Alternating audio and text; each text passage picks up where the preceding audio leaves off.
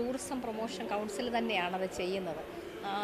ഈ നാൽപ്പത്താറ് ലക്ഷം രൂപ. അപ്പോൾ ഇപ്പോൾ ഫുള്ള് റിപ്പയർ ചെയ്ത് വേലി കെട്ടി കുറേ അത്യാവശ്യമുള്ളിടം കഴിയുമ്പോൾ സാമൂഹ്യ വിരുദ്ധരുടെ ശല്യം കുറേ ഒഴിവാകും. അപ്പോൾ ടെൻഡർ ചെയ്ത് കൊടുത്തിട്ട് ഇക്കോ ടൂറിസം സൊസൈറ്റി ആയിരിക്കും ഏൽപ്പിക്കുന്നത് അങ്ങനെയാണ് ഇപ്പം മന്ത്രി പറഞ്ഞിരിക്കുന്നത്. ആ തരത്തിൽ അത് റൺ ചെയ്ത് പോ തുടങ്ങി കഴിയുമ്പോൾ രണ്ടാം ഘട്ടം കൂടെ പണിഞ്ഞ് നല്ല മനോഹരമാക്കിയിരുന്നു